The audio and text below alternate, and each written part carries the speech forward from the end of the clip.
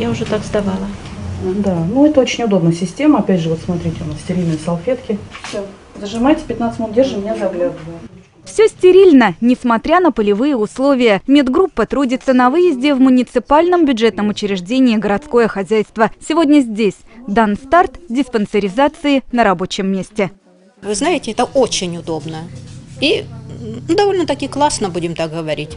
Потому что здоровье не каждый идет в поликлинику. А если при поликлинике очередь стоит аховская, ну извините, просидеть целый день и не попасть к врачу, лучше я на работе 33 раза пройду.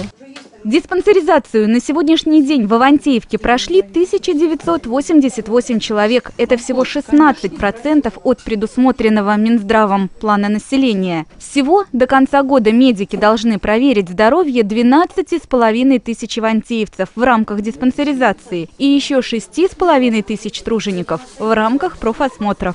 Забор крови мы делаем. Соответственно, они переносят анализ мочи кала.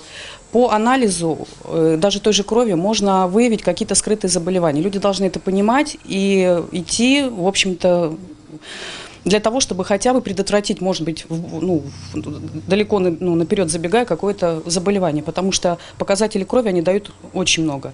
Так же, как и моча, как и кал.